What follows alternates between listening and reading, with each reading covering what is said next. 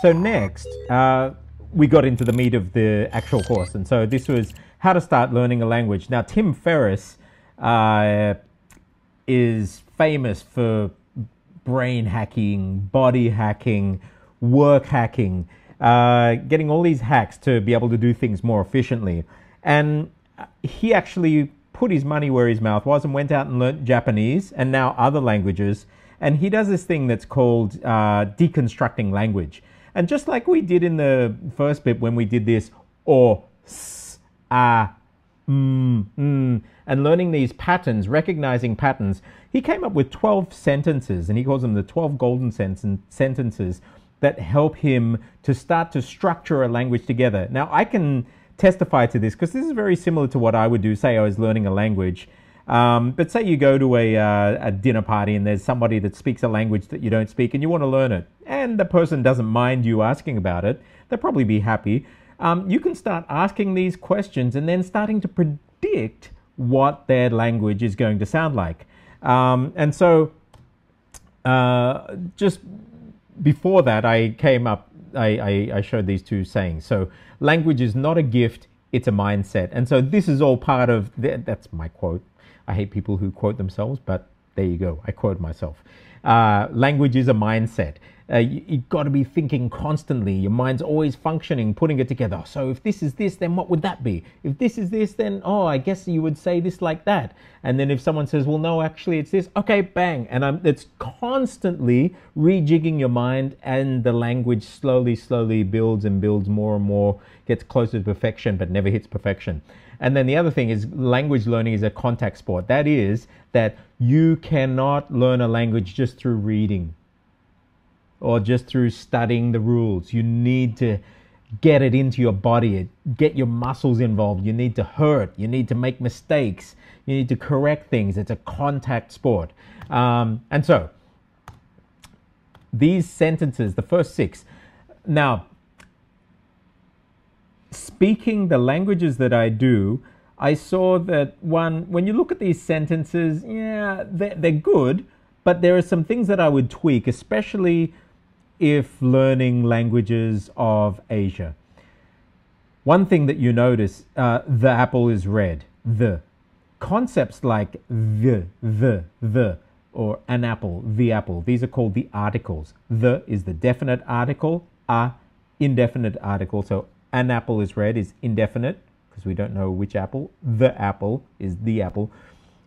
In languages, say Indonesian, apple berwarna merah. We have no such word as the. Um, Thai, apple, si dang, the apple is red. What we do have though is this and that. And so what I did is I shifted them to this. So I can say this apple is red. Apple ini berwarna merah. This apple is red. 这个苹果红色. This apple is red in Chinese. Uh, apple ลูกนี้or ใบนี้สีแดง this apple is red and so putting the this in actually gives you more structures that are more relevant within Asian languages at least for many of the languages of this part of the world so I changed Tim Ferriss's original the and a in many cases to this instead and you can substitute it for this or that so this apple is red this is John's apple I give John an apple we give him the apple. He gives an apple to John. She gives the apple to him. Now, these structures are actually fascinating across, um, especially like languages like Chinese, Thai, because we do things in different ways. And you can still see that there's the in there. Even Russian doesn't use the. Um, you give him apple, apple. Uh, you don't say the apple. Uh, but in translating these sentences, I guess you would see that, oh, they don't use the word the. Um, the question was, what do you learn from these sentences? And I want you to think yourself, what do you actually learn from each of these? And write them down. Each one of these sentences teaches you one or more different structures. Um, different languages, they're going to be more relevant. Um, now, one thing to note here have a look at number four and five. We give him the apple he gives an apple to John. They mightn't seem that different, but in several languages, They're very different. We give him the apple. Okay. Um, take this sentence, though, for example John gives Harry his hat. Whose hat was it? Was it John's or Harry's? In English, there's no way that you can know whose hat it was. But in some languages, they will actually put the word his in different forms so you know whether it was John's or Harry's hat. So these kind of structures can tell us a lot, and English is actually pretty crappy language as a base language to be able to get other meanings. There are some other languages that actually would have more granular meaning, but these can teach you a lot. Um, the next sentences Is the apple red? The apples are red. You could say, These apples are red. I must give the apple to him.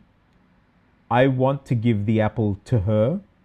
I'm going to know tomorrow. I can't eat the apple. The only one sort of different there is number 11. I'm going to know tomorrow. And um, there are different ways of saying that. Um, but they can teach you different structures. Now, one thing that we learned in class, though, was that, yeah, sure, you might be able to do a Google Translate on these or even ask a native speaker. However, if you are a native speaker, the way that you would say these sentences in a native context, just in full flow conversation, versus you've got some foreigner asking you, How do you say this? and you, you tell them, you will often tell somebody how you say it as a more formal or correct way, but the way that people actually say it will be very different. And so this is one thing that we get from all of these 12 sentences is that realize that it's just a guide and where you get the language specimens from is going to make a world of difference. If it's just Google Translate, dictionaries, or official translations, that's one thing. If you get them from the wild and you're actually able to extract language that people are actually using without them realizing that you're teaching you is going to be much, much more powerful. But it's a little bit more difficult to create that circumstance where you're getting that language. But that's the best language because that's the language that people really use. So, how would we do it better? I guess one thing would be to get specimens of the language that people are telling you um, I get the, the very bottom rung is Google Translate. Next is getting asking people, and then to do it even better is then to get a version of the language where you extract it from its natural environment and you analyze it that way.